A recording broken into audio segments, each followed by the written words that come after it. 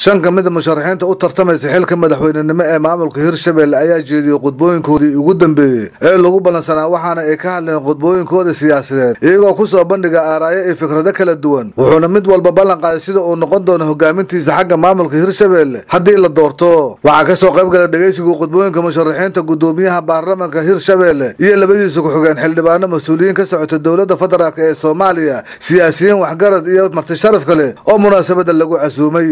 khudbajeedinta musharaxiinta ee ka dhexeysa ayaa ammaankeeda si weyn loo adkeeyey taasi oo sahashay in khudbooyinka ay dhegaystaan dhammaan xildhibaanada baarlamanka maamulka hirshabelle waxaana ay ku soo gabagabowday sidii loogu talagalay. Khudbajeedinta musharaxiinta u taagan jagada madaxweynenimo ee hirshabelle ayaa waxay ahayd sidaani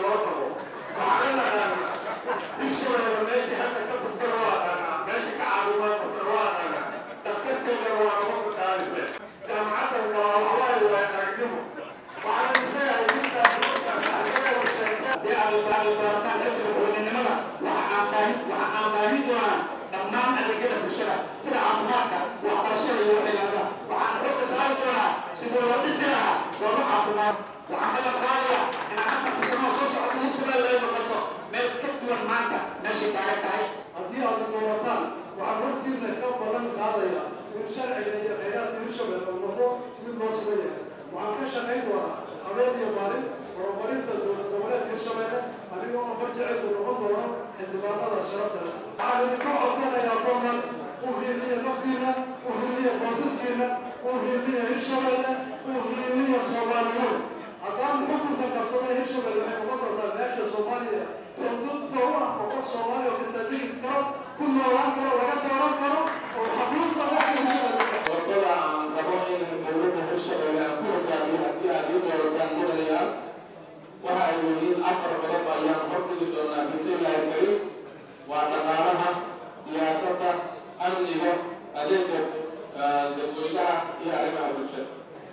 ذلك المحض الله سبحانه وتعالى حتى سنبي أن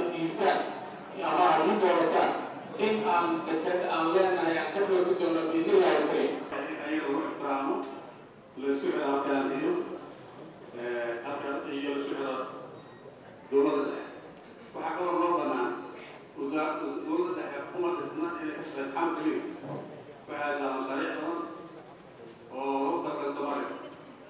gudoomiyaha baarlamanka maamulka hirshabelle sheekh cismaan barre maxamed ayaa degni u daray musharaxiinta una sheegay in musharaxii la doorto haddii uu ka dhabeyn waayo ballanqaadkiisa uu baarlamaanka kalsoonida kala noqon doono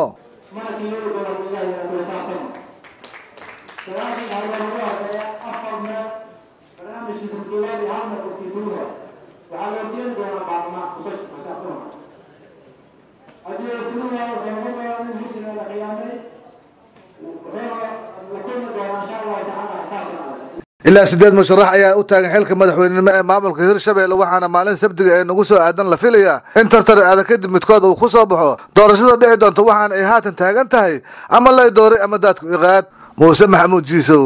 magaalada jowhar xarunta maamulka hirshabelle